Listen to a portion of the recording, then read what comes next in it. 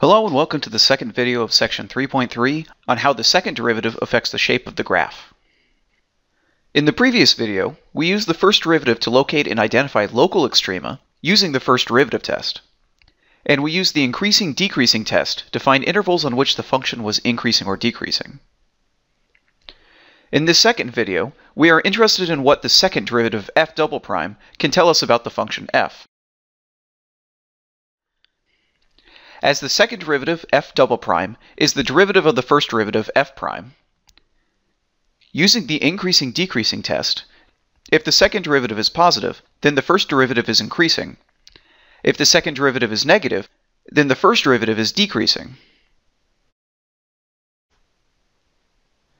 Like with the first derivative, you can see in the shape of the graph whether the second derivative is positive or negative. An interval has upward concavity if the function lies above the tangent lines of points on that interval. An interval has downward concavity if the function is below the tangent lines of points on that interval. The parabola y equals x squared is concave upwards on the entire real line. Notice how it lies above the tangent line no matter what point we choose.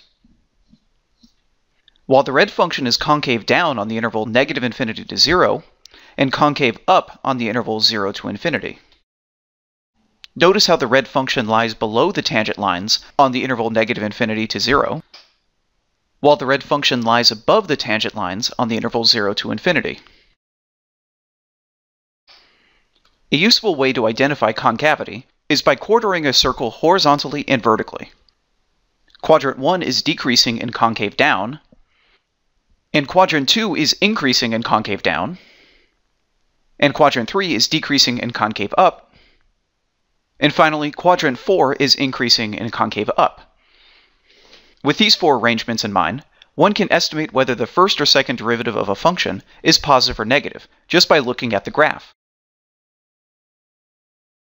To find intervals which are concave up and intervals which are concave down, we divide the domain of a function f into intervals whose endpoints are critical numbers of the first derivative.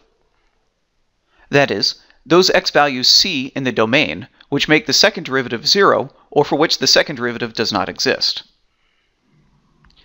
Points whose x values are local maximum or local minimum on the graph of the first derivative are called inflection points.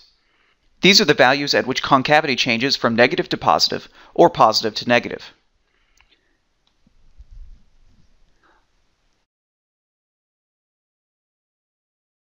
Let's take the example of the function the cubed root of x times 8 minus x. We'll find the inflection points in intervals which are concave up or concave down. Taking the first derivative using the product rule, we simplify by factoring. Notice that each term in the sum has a part x. We'll factor the lowest exponent, and we clear the denominator by factoring the fraction 1 third. We now have a nice simplified first derivative. But we want to test for concavity, so we need the second derivative. We now take the derivative of the first derivative using the product rule. We simplify by factoring. Notice that each term in the sum has an x. We'll factor the lowest exponent, and we clear the denominator by factoring the fraction negative 2 ninths. We now have a nice simplified second derivative. We divide the domain of the original function f into intervals whose endpoints are the x values for which the second derivative is 0 or does not exist.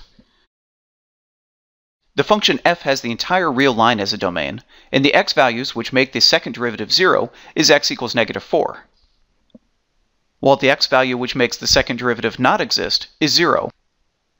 We use the test points of negative 5, negative 1, and 1, plugging them into the second derivative. We see that the interval negative 4 to 0 is concave up, while the interval negative infinity to negative 4 and 0 to infinity is concave down.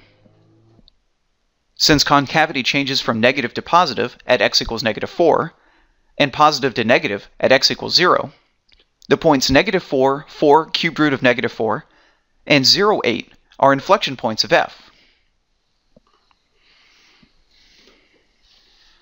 A final application of the second derivative to the shape of a graph is the second derivative test.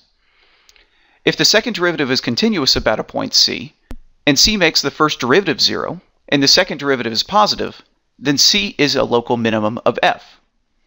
Draw how you typically imagine a local minimum. The function decreases and then increases again with a smooth transition from positive to negative, no cusps or corners, and the point c has a horizontal tangent. Notice that the function is always above the tangent line at points bordering c. That means that the interval about c is concave upwards. This is the observation of the second derivative test. A point with the horizontal tangent, which is concave upwards, is a local minimum. In the same way, we see that a point with a horizontal tangent which is concave downwards is a local maximum.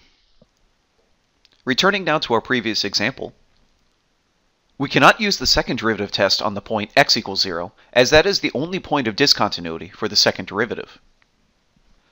The first derivative is 0 exactly at x equals 2, don't be fooled into thinking that x equals 0 is a root for f prime. x has a negative exponent, so when x is 0, the function is undefined. Notice that the second derivative is negative when x equals 2. So by the second derivative test, x equals 2 is a local maximum of the function f. Let us conclude this video by using the techniques from the first video of the section on the function f. The second derivative is not needed for techniques from the first video, we can determine which intervals are increasing and decreasing on the function f by taking the critical number x equals 2, where the first derivative is 0, and the critical number x equals 0, where the first derivative does not exist, and dividing the domain of the function f into intervals with endpoints 0 and 2. We take the test points 3, 1, and negative 1 to determine if f prime is positive or negative on the interval,